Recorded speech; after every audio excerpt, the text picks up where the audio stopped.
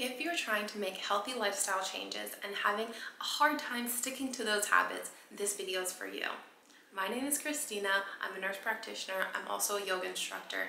And so my passion really is within holistic health and wellness.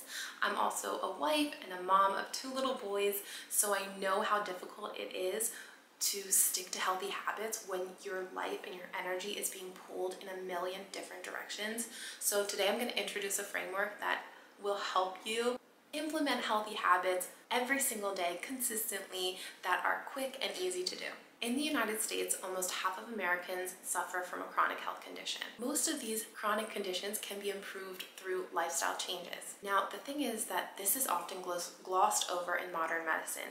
In modern medicine, we have a high focus on prescribing medications you come in with something, we prescribe you a medication, we follow up, we make sure you're taking those medications, we refill those medications. It's highly, highly focused on medications. Maybe lifestyle changes are brought up, but it's rare that your provider will give you techniques or give you tangible ways of how to implement these lifestyle changes. So what we're left with is a pack of medications and the same lifestyle that we came in with. Now, I'm not saying to stop taking your medications. I by no means am against taking medications. I just hope that this can help supplement treating your chronic health conditions with healthy lifestyle changes and empower you to take control of your own health and really, really make those healthy lifestyle changes stick. The framework that I'm going to introduce to you today is called, well, I call it the Five Quick Five. And I sort of unknowingly developed this framework when I, right after I had my second son, when I was really having a hard time sticking to healthy lifestyle habits. I wasn't sleeping right, I wasn't eating right, I was hungry all the time because I was breastfeeding, and I just could not find time to make healthy lifestyle changes. So a short explanation of this framework is that I'm going to identify five aspects of your life. These five aspects of your life are based off learnings from an ancient text in Hinduism.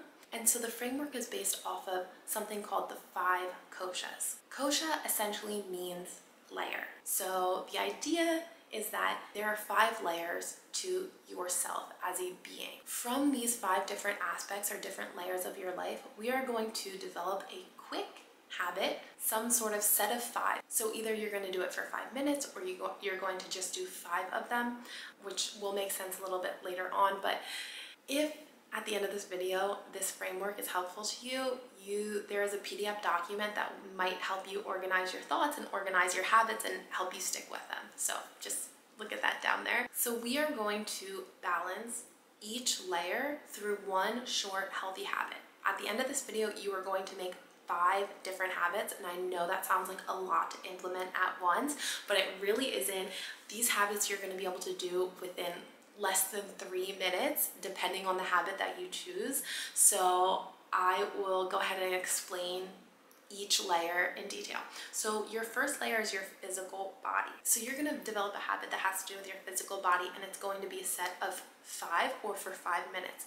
So this could be like, I'm going to run for five minutes or I'm going to do five squats. I'm gonna do five push-ups every single day. And that's going to be your physical habit.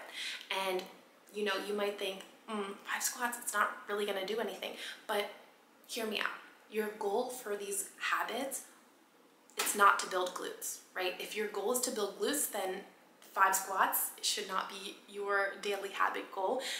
The goal of these habits is consistency, right? It is consistency, so remember that. So five squats, five push-ups, maybe you already have a really great workout routine in and your habit for your physical body is I'm going to drink a smoothie every morning with five different fruits, fruits and vegetables.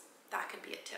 Whatever is applicable and helpful to you in your life, make it specific to you. Your next layer is your energy body.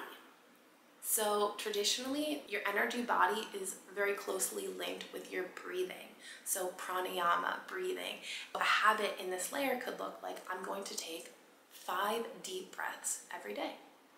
For the sake of this framework, I'm also going to just introduce the idea of anything, any habit that will help balance your energy in your life is applicable, right? So maybe that's meditation. I'm going to meditate for five minutes. I'm going to take five deep breaths. I'm going to say one affirmation to myself five times, whatever it is that helps you feel calm, at peace. Anything that will harness good energy in your life, that is what I want you to focus on for your energy habit. Number three is your mind body. For this habit, I want you to choose an, a habit that has to do with learning, growing your body of knowledge. This could be reading five pages of a book, maybe just reading five lines of a book. This could be listening to five minutes of a podcast on your way to work, or maybe it's learning five new words in a different language. There are endless things you can learn in life, and so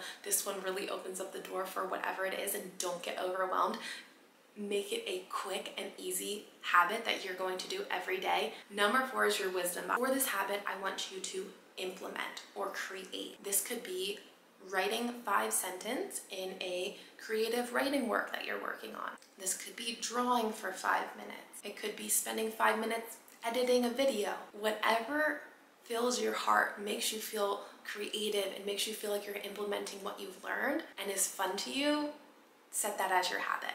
And then your last body, your bliss body, that's your fifth.